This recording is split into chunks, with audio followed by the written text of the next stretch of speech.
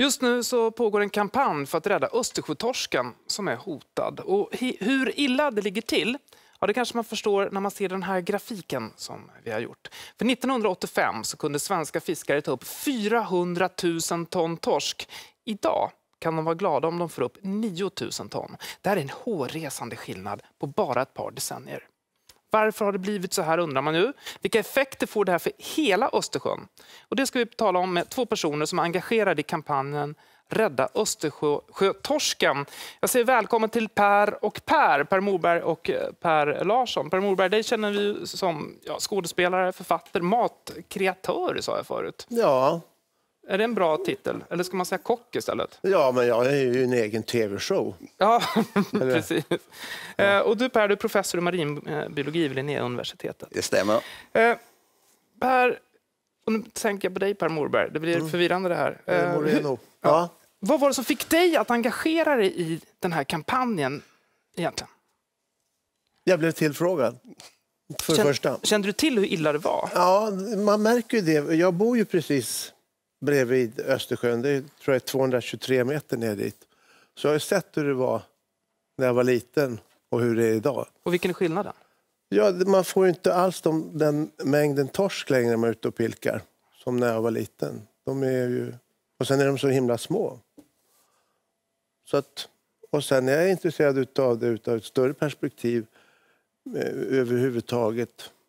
Hur, hur världen ser ut. Jag tänkte på det när jag var på väg hit så läste jag en artikel om att 350 000 år sedan så, så eh, upptäckte de att det har funnits människor.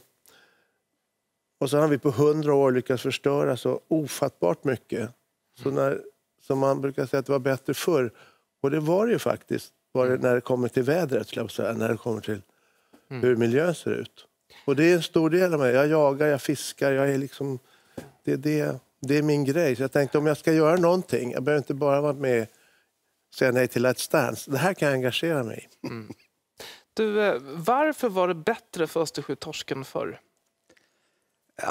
ett av de stora problemen är ju överfisket och att det är så effektivt att fiska idag. Du fiskar med stora trålar, du har ekolod, du har sonar, allt elektroniskt. Mm. Så det är väldigt lätt med de här effektiva metoderna att fiska ut och det är precis vad man har gjort med torsken. Den är utfiskad på grund av de här väldigt effektiva metoderna som inte är ekologiskt hållbara. De är, de är, effektiva. Varför är en trål så effektiv? Ja, du kan tänka dig själv, du drar en stor kasse över botten. Eh, den går precis vid botten en liten bit ner. Det här kan du hålla på med i 6 till 8, 10 timmar till du har fått tillräckligt mycket fisk. Problemet är att du alls inte kan styra vilken fisk du får. Du vill ha torsk, men du får en massa annat också. Och då åker den tillbaka igen när man sorterar fångsten. Och den här trålen packar hela tiden fisken så den packas hela tiden i en kasse längst bak. Och sen får du upp den, alla fiskar är i stort sett döda och sen tar du det du vill ha och sen slänger du tillbaka resten. Hela det här fisket, då, eller utfisket, vad, vi kan se på en bild här på hur själva ekosystemet eh, ser ut. Vad är det som händer i havet? Här, ser du en, eh, en bild. Vi ser ett överfiske, vi ser lite torsk, mycket skarpsill, lite djur. Ja, vad är det som händer i den här bilden?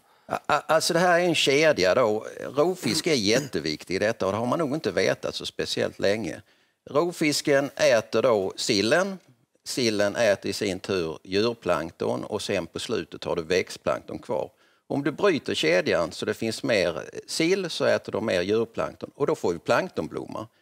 Och här det är bara en enda kedja i Östersjön. Här har du alltså många tusen sådana kedjor. Men en av de viktigaste är den här med torsk ner till växtplankton då, via sill och djurplankton.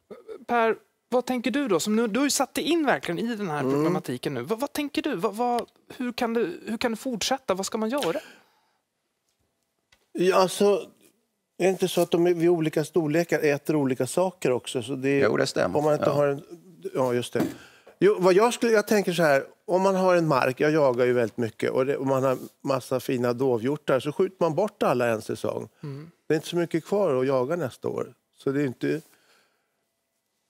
jättekonstigt hur man ska agera. Och det är väl som Per säger, det är skönt att vi heter samma för man slipper tänka Och I det mindre perspektivet, när du lagar mat, för det vet vi att du gör, hur tänker Mm. du när du väljer torsk? Ja, det finns ju inte så mycket annat att välja på än den som kommer från eh, Norge idag, för att det, vi har ju ingen torsk. Och det är ju en delikatess man tycker är fantastiskt. Vi som är så här vuxna, vi kanske inte tyckte det var världens godaste i skolmatsalen, men idag är det ju en underbar fisk att jobba med. Vit mjäll, fantastiskt. Eller vad säger kocken där borta? Det tycker du är bra. Ja, underbar fisk. Underbart, säger Ja. han där. Precis. Han, Ja. han lagar kyckling idag, men, eh, men det, det är sant. Det är ju en, verkligen det är en god och det är, det är en, en fisk. Vi, vi har sammanställt några punkter här som vi kan titta på, vad man nu då kan göra. Vi, kan- vi kan titta på de här punkterna och se eller vad som egentligen krävs för, eh, för att rädda då Östersjötorsken. Förbjud bottentrålning i Östersjön. Varför inte det förbjudet redan nu, tror ni? Ja, det är egentligen rätt märkligt för vi har förbjudit i alla insjöar och egentligen är Östersjön en stor insjö. Och det är som jag sa, bottentrålning är förkastligt ur ett ekologiskt perspektiv. Och det är då att man lägger fångsterna ute i havet, alltså i utsjön. Och då tappar man kopplingen till torsken att den kan vandra in till, till land där Per vill fiska dem då. De finns inte kvar och de kan inte vandra in där. Så idag har vi totalt, finns ingen torsk vid kusterna längre. Ja. Ja, ja, fortsätt du. Nej, men det kustnära fisket det är ju bra för fisket i, i liten skala. Och så tänk vad roligt också att få, kunna få eh, på spö en stor torsk igen. Vad är den glädjen? Dessutom sätter ju många tillbaka dem som sportfiskar. Alltså, jag- pratar om den delen. Jag får ju barndomsminnen när man stod på en pir och fiskade och faktiskt Ja. en annan gång fick en torsk. Det var nog mest min storebror som fick det. Men Ja. ändå, och jag, det skulle jag nog inte få idag. Så är det ju. Nej, i alla fall inte så stora. Nej. Eh, fisket ska ändra geografiskt eh, fokus, ekologisk grund för fisket, fiskevård ska bedrivas i Östersjön. Det är några andra såna här åtgärder som då behöver vidtas. Och då undrar jag också så här, ni som är insatta, hur akut är läget? Kan man rädda Östersjötorsken med de här åtgärderna? Eller är det för sent? Det är nog expertisen som ska fråga på, men det kan ju inte vara för sent. Men det- får jag bara säga det här, det är, så, det är så trist. Man tänker på att vi inte kan beställa på restauranger eller på, på, en, en, en fisk som finns här i Östersjön där vi borde kan, och som har varit den vanligaste basnäringen vad det gäller fisk, nästan och strömming, inte finns längre. Det är ju mer än himla trist. Det är för jävligt. Och hur vi ska ändra på det då? Du som är... Det, det är väl så här va, att man ofta säger att det här bestämmer EU och det klarar inte vi av. Eller någonting. Det, Sverige måste gå före här, före här och införa trålförbud och jobba för det. Va? Och fiskevård och sånt. Va? Som Per sa innan om hjortarna, här, man måste vårda det man ska då ta upp. Man kan inte bara ta ut hela tiden. Och här Tänker ska ni då Sverige... att man går in med stöd för de fiskare som finns i Sverige? Då? Att, att, att, att staten Ja, det är faktiskt så få som trålar också. Ja. Och det är klart, där tycker jag man, man, man kan, det är ju en piss i Mississippi att ersätta dem. Jag vill inte låta nonchalant, men det är ju så få som håller på med det. Då, Det och de tar så Ja. mycket. Men de kan ju inte heller tycka det är så roligt när det inte finns någonting att fiska. Såg ju 90 000 ton och nu, från 400 000 ton. Nej, här har det hänt någonting på de här decennierna som har varit. Va? Och det har inneburit då att yrkesfiskare har lagt ner hela tiden och det sker hela tiden. Alltså hela tiden minskar antalet yrkesfiskare.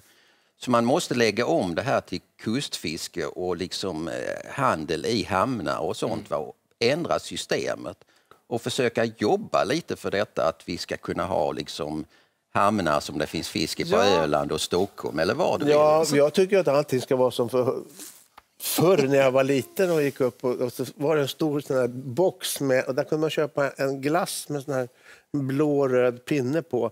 Så luktade det fisk där inne och då låg det torskar och laxar och sådär. Och jag är ändå född på 1960-talet, inte 1860-talet. Jag vill att det ska vara ett bageri, det ska vara ett slakteri, det ska vara en frukthandel och så ska man gå, så ska man träffas, ska man prata, inte åka ut i stora bunkrar. Jag- jag förstår precis. Kan vi ändra på det? Ja, Jag förstår, som är född samma decennium och hemma hos mormor, vi gick till mjölkaffären Ja. ihop. Jag känner jag har lite ont i ryggen nästan här nu för jag blev Ja. så gammal helt plötsligt. Men eh, jag förstår precis. Tack för att ni var här. Så viktig fråga. Östersjön berör faktiskt oss eh, alla. Nu